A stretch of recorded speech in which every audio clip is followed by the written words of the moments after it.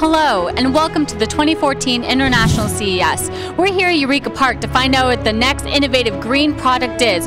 Follow me and let's go find out.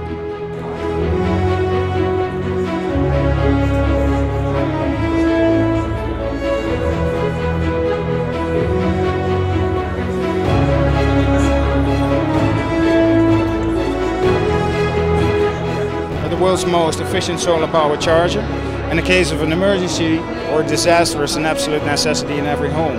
Light switch that doesn't require any batteries.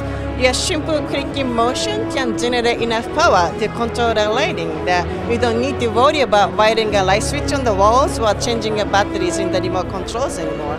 We developed the world's first portable solar-powered refrigerating cooler. Uh, you can charge your accessories, you can run a radio, you can run a blender making margaritas on the beach. This cooler behind me is for vaccine transports. So we're working on transporting vaccines in underdeveloped countries around the world.